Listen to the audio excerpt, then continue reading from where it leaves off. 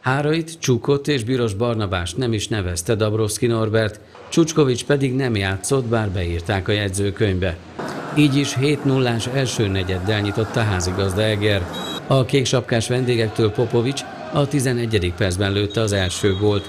Igyekezett végig góra törően játszani az Egri együttes, annak ellenére, hogy nem volt egy súlycsoportban a két csapat.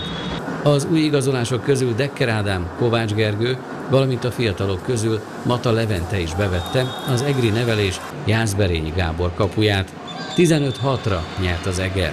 Én egy ilyen csapatot szeretnék látni, amilyen most játszott, mert azt gondolom, hogy nagyon fegyelmezettek voltunk, abszolút abban a periódusban, ahol tartunk, megfelelő volt minden elvárásomnak, meg várakozásomnak is. Láttam nagyon szép dolgokat, nyilván voltak hibák is, de most szerintem nem kell erről beszélni, úgyhogy meg tudom dicsérni, és a fiatalokat ugyanúgy.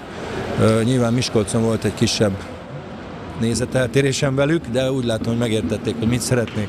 A vendégeknél hat év franciaországi légióskodás után éppen Egerben mutatkozott be a Tatabánya együttesében a korábbi egri sikerek részese Jászberényi Gábor. Gyönyörű hat év volt, hát volt nagy sírás részemről is, és a, a vezetők és a szurkolók részéről is, mert gyönyörű szép hat évet, já, hat évet töltöttem meg, kétszer nyertünk bajnokságot, mindig bajnoki döntőt játszottunk.